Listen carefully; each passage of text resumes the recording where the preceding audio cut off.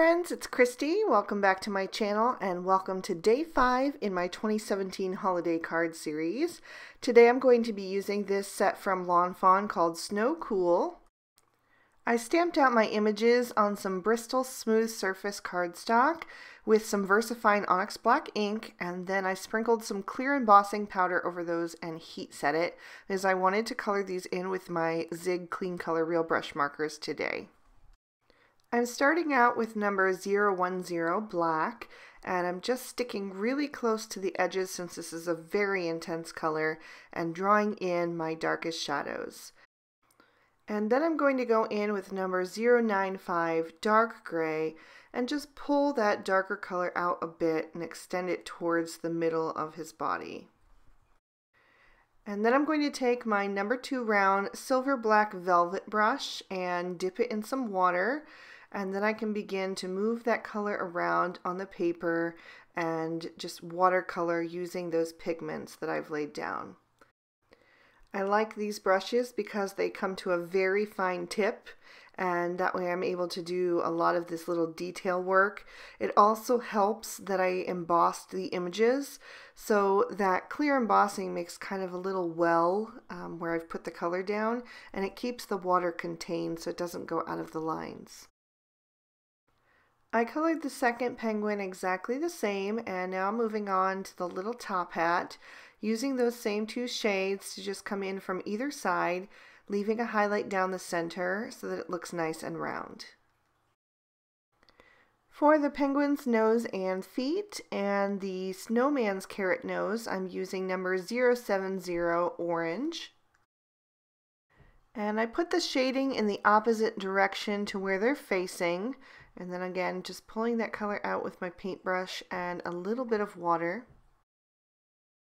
And I forgot to paint in that little penguin's wing earlier, so I'll just take care of that now. For the snowman, or snow penguin I should say, I'm using number 036 light blue, and I'm just adding a little bit of a frosty glow to mainly the left side of him, and then just a little bit on the right so that he looks nice and round as well. And since the igloo is made out of the same snow, I use the same exact color, just shading heavily on the left and then drawing that color over towards the right. Now that the black has dried, I can go back over to the whites of my penguins and add some shading with 091 light gray. And again, I just put this down at the very edge and then drew that out a bit and let it fade off into white so they didn't get too dark. For the earmuffs on the first penguin, I'm using number 082 purple and see how I'm able to get into that fine little line with the headband with these markers. The tips are just that detailed. Um, I just love them. They're great. And also with the paintbrush, I can stay in the lines really well because they have that super fine tip. The hat on the second penguin is number 042 turquoise green and I'm just coloring it as if it was like a beanie, I'll just all one solid color. The hat band on the top hat is going to be number 030 blue and finally, I will give the penguins some rosy cheeks using number 026 light pink. I'll set them aside to dry for a little bit and then cut them out with the coordinating dies. In the meantime, I wanted to create an Aurora Borealis background, so I've grabbed a couple of colors of Distress ink. I've got Picked Raspberry, Wilted Violet, Twisted Citron, and Squeezed Lemonade. And beginning with the squeezed lemonade, I'm going to really dip my blending foam into that ink and brush on the color really dark and heavy. I don't care if it's splotchy because I'm going to be doing a lot of blending and then adding colors over top. I just want there to be a lot of color.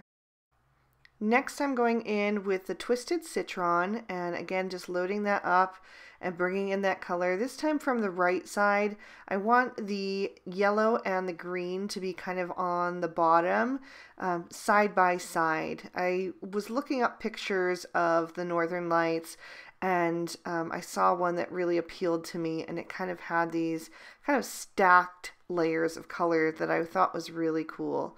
So that's the effect I'm trying to go for here. I went back to the squeeze lemonade to just blend those two colors together.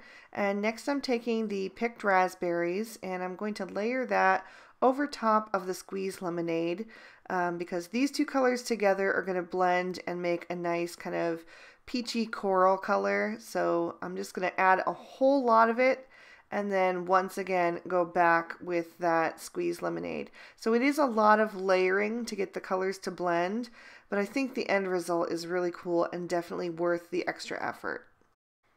So I realized I was going to need a transition shade between the green and the purple, otherwise I was going to get brown.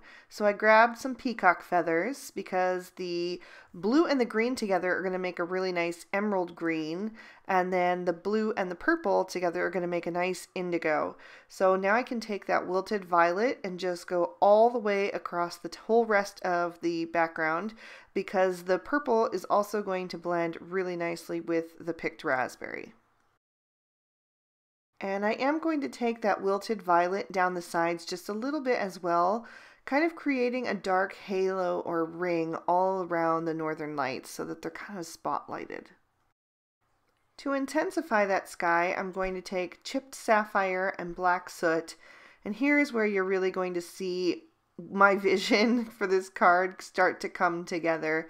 Um, once you have that darkness around, it really makes those bright colors in the center pop. And this was filmed at night under my bright lights, so the colors are actually a lot more intense than they even look on camera, and you'll be able to see that in the photo at the end of the video. So I'm just going back to the chip sapphire and blending that black soot a little bit more into the background. And then I'm going to take some Copic opaque white and just add a bit to an acrylic block. Just make sure I get a good amount on there. It has a super fine, tiny little brush there. And then I'm going to take a little spritz of water from my Distress sprayer because I wanted to dilute it a bit. And then I'm going to take an old paintbrush and just flick it off the side of the acrylic block until I get a nice splattered effect. And I'm going to keep moving it around until I get kind of larger droplets and some smaller ones. And I want it to mostly be concentrated on the darkest portions of my sky, a little bit less on the actual colors in the center. I die cut that with the Lawn Fawn outside in stitch rectangles. And I also die cut two snowbanks using the Stitch Hillside border dies. I'm going to take one of those and pop that in my MISTI so that I can add my sentiment. And I'm going to take that from the Lawn Fawn Snowy Backdrops stamp set. And I'm going to ink up the Let It Snow sentiment using some VersaFine Onyx Black ink. And that stamped perfectly the first time, so I'll just pop that out. But to get it to match with my penguins and my images, I'm going to just coat that in some clear embossing powder and then heat set that with my heat tool. I've added some foam tape to the back of that strip and I'm just going to set it lightly in place as kind of a place marker. I don't want to press it down too far yet um, because I want to take this back hill and add a bit of Tombow Mono multi-glue and then just tuck it behind. That way I know I have perfect placement and I get the stitching lines all matched up on the edges. I did get a smear of glue over on the right there, but it actually was exactly where I was going to be putting one of my penguins, so it really didn't matter. And actually I thought it was funny because that glue smear was sort of in the shape of a penguin. I added him over on the right with some foam tape and just left his little feet without any foam so that he's actually perfectly level with the front snowdrift so that'll make it nice and easy for mailing. And then the snowman or snow penguin I added to the back snowdrift, just flat to the card with some more Tombow Mono and popped his little top hat on his head. And the other penguin got some foam tape as well. And then the igloo will get glued flat to the card back on that hill so it'll look like it's kind of off in the distance. My card base is made from Lawn Fawn Black Licorice cardstock, just scored and folded to a standard four and a quarter by five and a half card, and this is a landscape orientation. And I'm just going to glue my focal panel to the card base with some more liquid glue. Make sure that's pressed into place. Since my card base is black, I'm going to need to either write my message on the inside with a white gel pen, which can sometimes get smeared since I'm left-handed, or just insert a liner, which is what I'm actually going to do. So I'm stamping another sentiment and the penguin from the Winter Penguin little mini hmm. set as he looks very similar. He just will be a little bit different from the ones on the outside, but he kind of really goes well with them. And I'm stamping that in some Lawn Fawn Fresh Lavender ink. So I just have the Peace and Joy and then the little skating penguin with the snowflakes and the little skate heart behind him and then I'll just glue that down to the inside of the card. To finish things off, I've taken some iridescent crystals from Studio Katia and I've just placed them down on my card where I want them to go. And I'm going to use my Pick Me Up tool to just lift those up and then add some Ranger Multi Medium Matte just right underneath. And that will dry perfectly clear and you won't be able to tell that it's there at all. It won't like fog up the crystals at all or anything. And because they have this iridescent quality, these crystals really bring out the colors in our Aurora Borealis background. I thought they were just the perfect accent. And there's a ton of different sizes in that little bag. I thought that was really cool. Um, there's at least four or five different sizes, so all kinds of little options there for a little bit of glitz and glimmer. That is going to complete our card for today. I'm going to lift it up to the light so you can see all that pretty shimmer on those crystals and give you one last peek at the inside of the finished card. I hope you guys enjoyed the techniques that we covered today with the Aurora Borealis background and the watercoloring with the zigs. If you did, please give it a big thumbs up and you can also leave me a comment. I love reading what you guys have to say.